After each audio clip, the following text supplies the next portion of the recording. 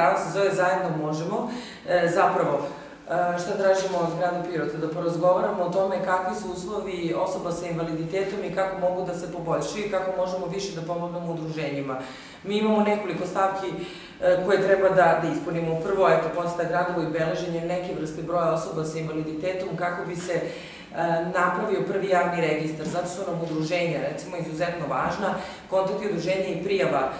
i prijava ljudi, jer mi smo jedni od redkih koji nemaju javni registar osoba sa invaliditetom, a to bi mnogo olakšalo u kasnijem funkcionisanju i kada je reč o RFZO-u, koji je nama kao osobama sa invaliditetom izuzetno potreban, pa i svim ostalim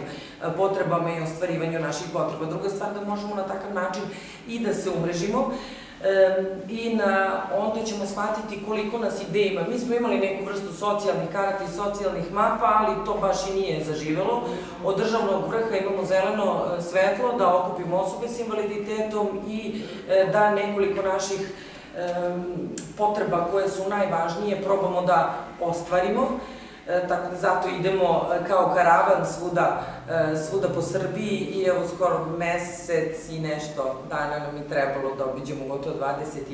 27 gradova, videli smo šta je ono što najviše nedostaje, mi ćemo sastanak sa državnim vrhom i to ćemo im sve reći. Govorimo i radili smo na izmeni kaznene politike za nepropisno korišćenje parkih mesta za osobe s invaliditetom, to ste videli već sada da je podignuta kazna sa 5 na 10 hiljada i da je to Skupština Srbije odlučila, međutim smatramo i vidimo da kada smo prolazili e, državu da je to malo, da mora da se uvedu i još neke e, promene što se tiče javnih parking mesta, što se tiče privatnih parking mesta, dogovorili smo sa određenim i najvećim za sada u Beogradu e, tržnim centrima, e, kako će to funkcionisati, pa ćemo onda dati know-how svim ostalim gradovima kako da funkcioniše za sada, kada nemamo javni registar, kada budemo imali javni registar, sve će to moći da bude urađeno softverski i, i mnogo lakše. Treća stvar na kojoj smo radili i koja nam je vrlo bila važna jeste zloupotreba nalepnice za osobe s invaliditetom, što je počelo da se dešava, to je rešeno time što pozovete broj 192, pošaljete fotografiju uprava kriminalističke policije, će to rešiti je falsifikovanje nalepnice za osobe sa invaliditetom krivično e, delo.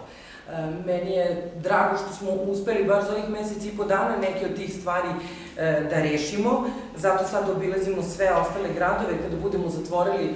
taj krug, bit ćemo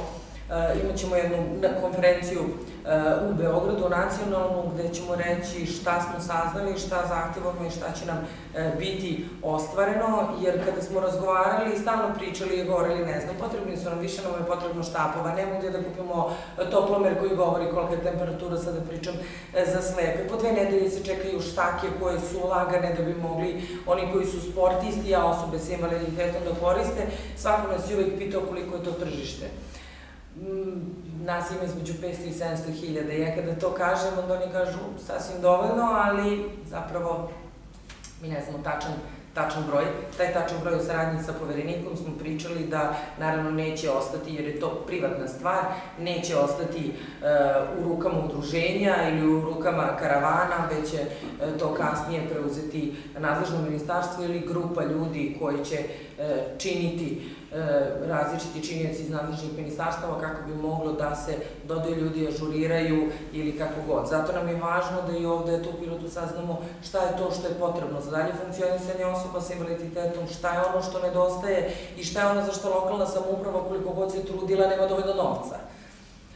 jer prosto negde onda moramo da vidimo kako funkcioniše ta centralizacija decentralizacija, a mnogo mi je drago što je profesor Kapenatović tu, jer